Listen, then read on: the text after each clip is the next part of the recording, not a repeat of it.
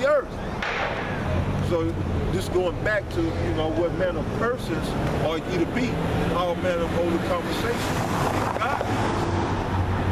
We should mortify, therefore, our members, which the scriptures say, mortify, therefore, your members, which are upon the earth. Fornication, uncleanness, inordinate affection, evil con concup concupiscence, evil concupiscence, excuse me, and covetousness, which is idolatry. So we got to get rid of all that. All that must be removed. And that all that is tied to our ego and our flesh. So everything that's attached or tied to the flesh, we must crucify so that the spiritual inner man can grow and flourish. All these things which cater to the flesh, fornication, uncleanness, inordinate affection, evil concupiscence, and covetousness, which is idolatry, all these things will get you put to death. All these things will, will get you killed. So it also says, for which things sake the wrath of Yahweh cometh on the children of disobedience. So all that will get you killed. All that will bring the wrath of Yahweh by Yahweh shot down, down upon you and get you put to death.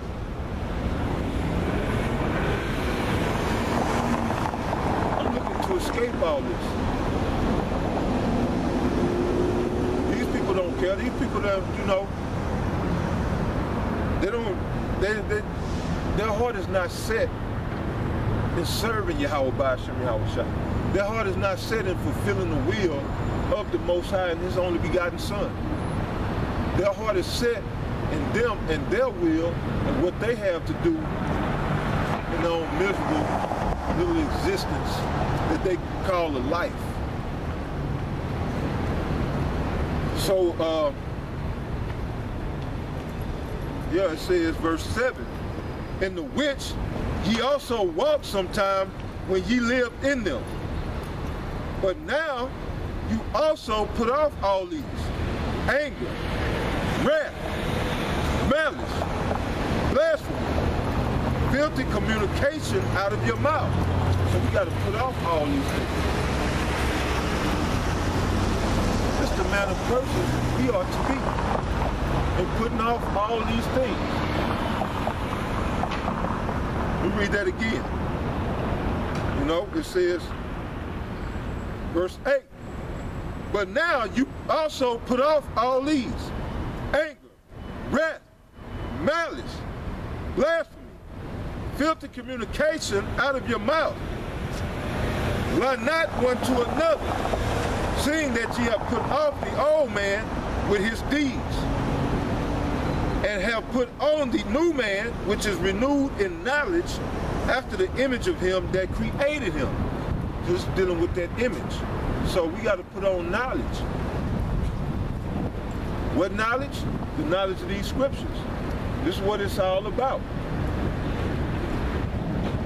It ain't time to go into these other books. I'm putting get into the knowledge of this world, you know, this worldly knowledge. Things of this world. Again, we got to set our affections on things above, things of, of, of uh, spiritual nature. Which these words are spirit and they are life. So we should set our affections on this. Yahweh shall come in the volume of his book. You know, that's a reoccurring, you know, vibration that resonates, man, throughout throughout all the lessons that I've been doing, like the past month, the past two months. And Yahweh shall come in the volume of this book. So, you know, our affection should be set on Yahawashi, so we should be deep in this book, you know, as much as possible. If not reading it, meditating upon it. Praying to the Most High. Thinking of lessons, putting lessons together. You know, in the minute of the Lord, that's what we do. That's how we spend our time. So this is how deep these scriptures go, man. This is how deep this rabbit hole runs. Again, it says, verse 9, Lie not one to another, seeing that ye have put off the old man with his deeds. So we got to put off the old man with his deeds, man. Whatever that madness was that you were doing before you came into this truth, leave that in the world. Put that off. Let these scriptures shape and mold you into the image of Yahawashi Mashiach. Let these scriptures guide your life. We ought to be, matter of fact, let me read verse 10. It's Colossians chapter 3, verse 10. And have put on the new man, which is renewed in knowledge after the image of him that created him. So we was created by the Father through his only begotten Son, Yahawashi.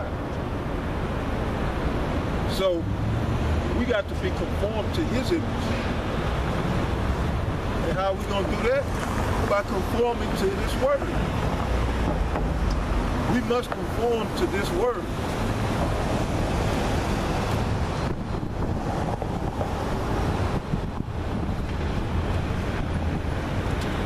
Well, let me read this word in scripture in Psalm say, Wherewithal shall a young man cleanse his way? And say, by taking heed to the word of Yahweh Ba'ashem Yahawashi, loosely paraphrased. So this word cleans you up. It, it, it cleanses you. It cleans you up.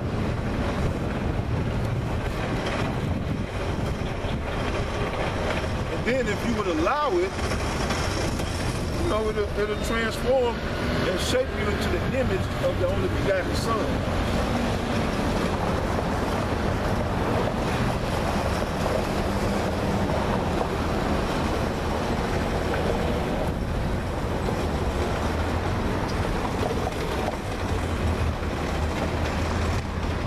So this is uh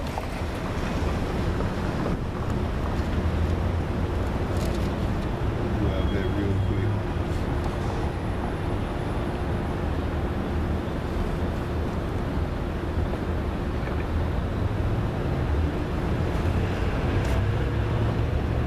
We go and bring this out in the book of Psalms.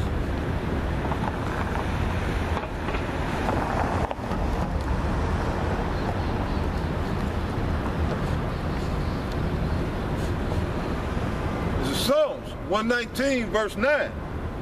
Wherewithal shall a young man cleanse his way? By taking heed thereto according to thy word. So you cleanse your way by taking heed to the word of the Heavenly Father. You know, not trying to put your own beliefs or your own spin on this word. No, following this word as it says. That's that's the way you cleanse your way. Anything else would be uncivilized. So let me this. America's gonna be destroyed real soon. The only begotten Son's coming back to bring judgment upon this place. America will be judged for the wickedness that is committed and pushed all throughout the whole world. America's is the empire built on bloodshed, sustained by drug dealing. So just just know you heard it from me. You can do what you want with the info. So again, it says, matter of fact, let me go and bring this out.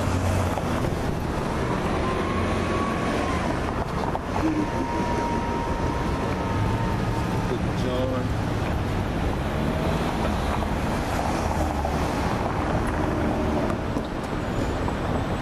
With me one minute. Gotta grab this. This is John chapter 6 and verse 63. All right, here we go. John chapter 6, verse 63. It is the spirit that quickeneth, the flesh profited nothing. The words that I speak unto you, they are spirit and they are life. So the very words that I speak, they are spirit and they are life. So, you know, you set your heart or your affections on this word, then you set your heart on things that are above, not on things that are beneath. Because this word is spirit. This is the spirit, the very spirit, the word of Yahweh Ba'ashem Yahawashi. Our Lord and Savior himself. So I got to bring that out real quick too. A lot of people, you know, they they think this is a book that was written by me or man. They think James.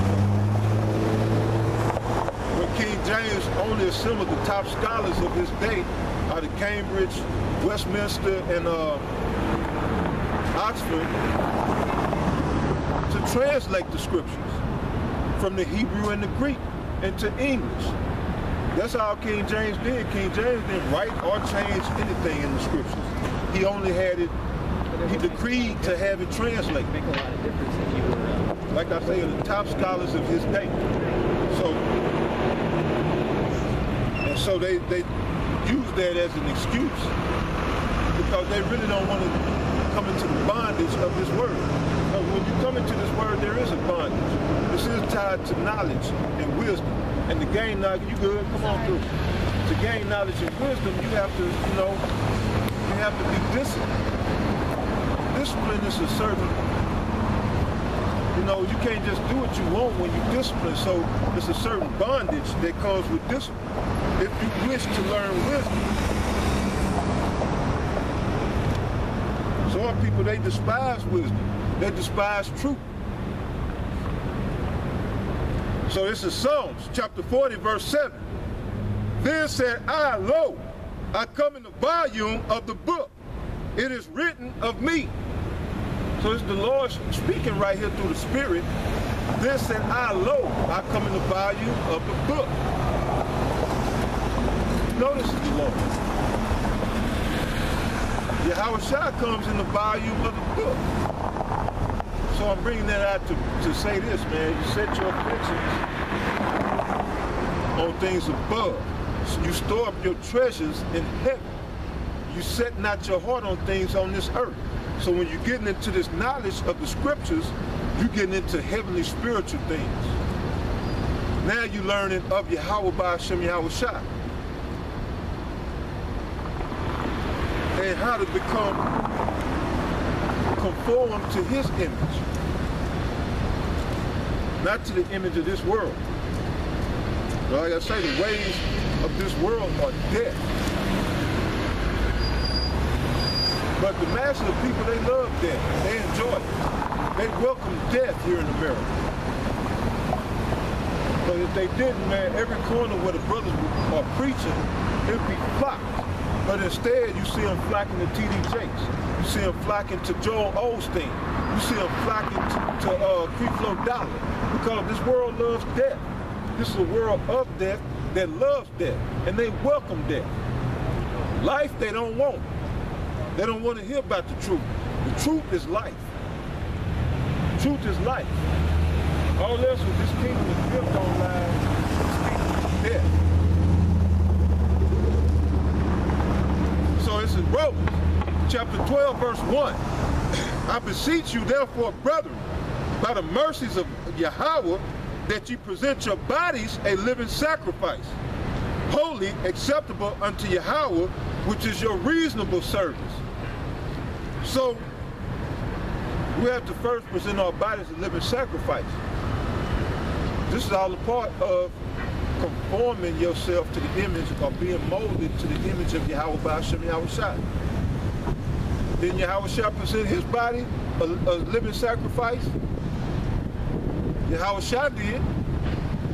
Literally. Now this is talking about spiritual. Or we don't go and build an altar and then kill ourselves. we come out here set up, you know, an altar in the name of Yahweh Ba'ashem Yahawashi and preach the gospel. That's how we make our bodies a living sacrifice in these last days. Because an altar, when you set up an altar whether it's pagan or according to this truth. You're going to establish the name of your God on that altar. And so, what is this here? This is nothing more than the altar to Yahweh by Hashem Yahawashi. That's why I open up giving all praises to Yahweh by Hashem Yahawashi so you know what you're going to get here.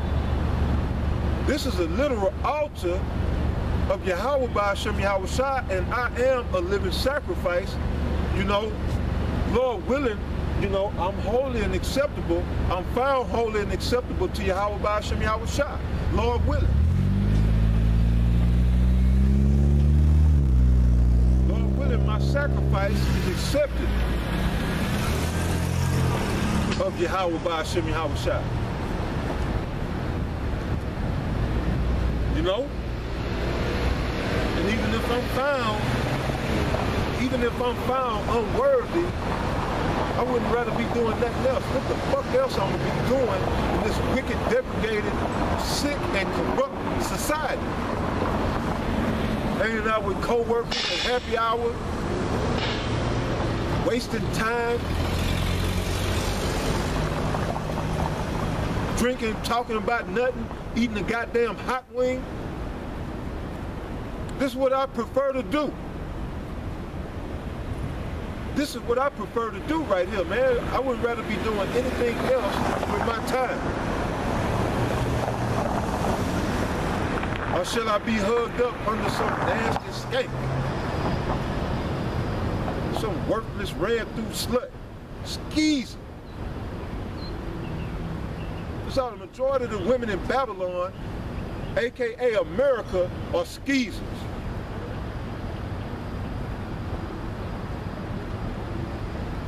So again, Romans chapter 12, verse 1. I beseech you therefore, brethren, by the mercies of Yahweh, that you present your bodies a living sacrifice, holy, acceptable unto Yahweh, which is your reasonable service. It's only my reasonable service. All the wickedness I did, man, it's the least I can do. All the wickedness I did for 30 something odd years before I came into this truth, Hey, I ain't doing nothing special.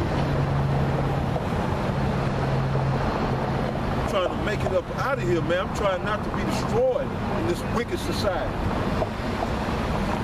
I'm hoping and praying that the Most High have mercy upon my soul and deliver me. I ain't doing nothing special. This is my reasonable service. And here it is, verse 2 and be not conformed to this world, but be ye transformed by the renewing of your mind, that ye may prove what is that good and acceptable and perfect will of Yahweh Ba'ashem Yahawashi.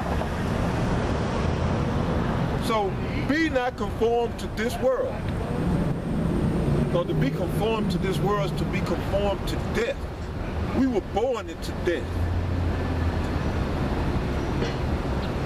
So why are you gonna try to live in this society? You might as well be dead in your house shot. But y'all rather try to live in a wicked and evil system that this white man set up, which is everything is set up to destroy you. Everything that's, you know, you come in contact with, everything on a daily basis that you come in contact with is toxic. They implemented what they call soft kill tactics on you mortmains here in America, which is to surround you by toxins, they spray you like roaches with chemtrails, your, your tap water polluted with, with pharmaceuticals, fluoride, and, and, and who, Yahweh Hashem Yahweh only knows what. He only knows what's all in this water We've been reduced to buying bottled water. You don't even know what's in there. That's what they call soft kill. War's been waged upon you people by your government. War's been waged, and y'all walk around like everything all good. And just give me my, you know, give me my NFL and my hot wings six pack,